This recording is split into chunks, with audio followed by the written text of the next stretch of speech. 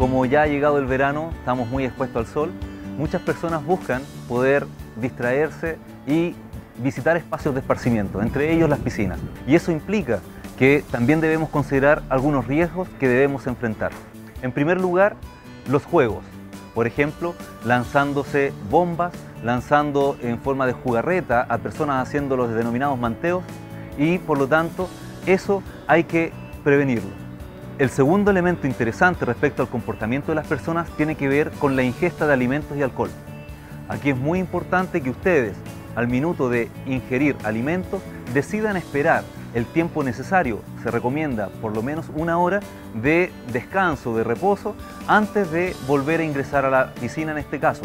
Por otra parte, si has ingerido alcohol, la verdad es que la recomendación es no ingresar a la piscina, no jugar en la piscina, puesto que esto puede significar un riesgo para ti y para terceros. El riesgo de los niños en las piscinas está centrado netamente en, la, en el descuido y la despreocupación de los adultos. Por lo tanto, no dejen a los niños solos. Tenemos que pensar de que las instalaciones eléctricas o las conexiones eléctricas estén debidamente diseñadas, debidamente realizadas conforme no tengan accesibilidad para las personas que van al lugar de esparcimiento. No pueden estar dispuestas en un lugar donde también hay agua y que pudiera generar la conductividad y por ende la posibilidad de electrocución de los bañantes. Las disposiciones de toda piscina obligan a que existan elementos de auxilio o de ayuda para una situación de rescate, lo que agrega la existencia de un salvavidas que se preocupe de observar el comportamiento de las personas y también del funcionamiento de las instalaciones para minimizar las posibilidades de riesgo.